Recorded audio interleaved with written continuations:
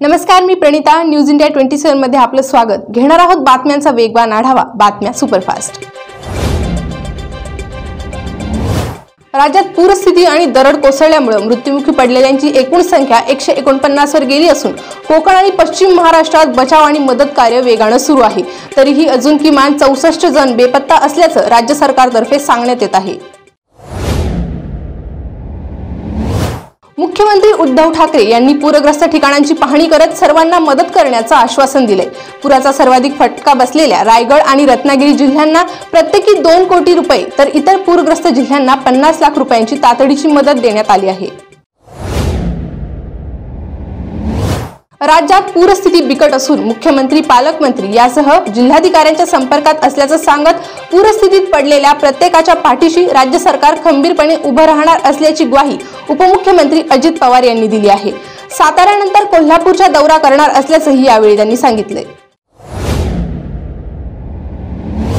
मुंबई पोलिसांच्या गुन्हे शाखेच्या पथकानं राजकुंद्राच्या अंधेरी येथील दोन कार्यालयांवर शनिवारी छापे टाकलेत.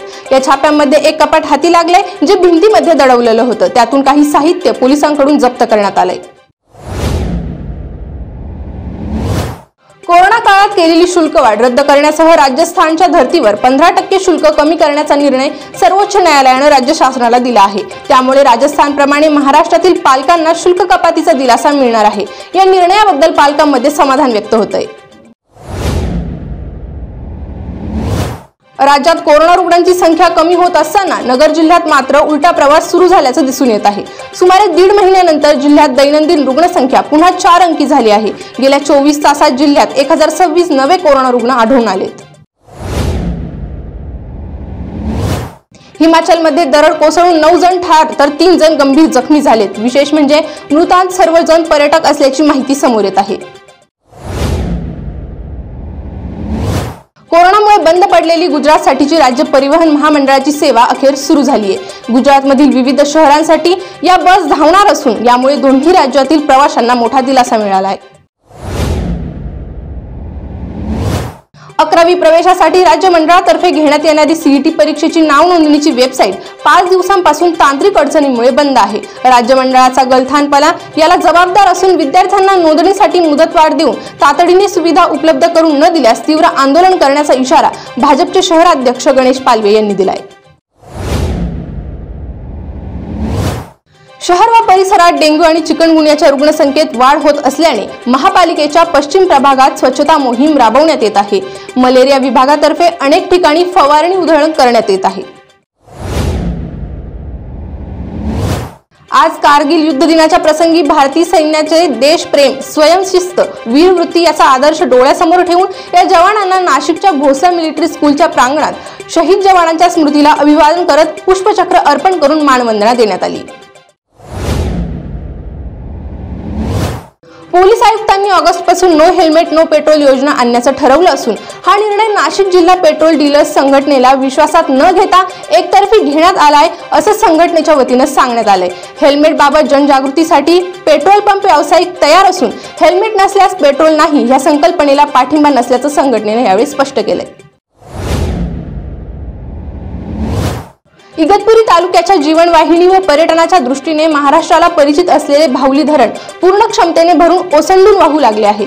धरण परिसरात व पाणलोट क्षेत्रात मुसळधार पर्जन्यवृष्टीमुळे जलसाठ्यात झपाट्याने वाढ झाल्याने तालुक्यात समाधान व्यक्त होत आहे.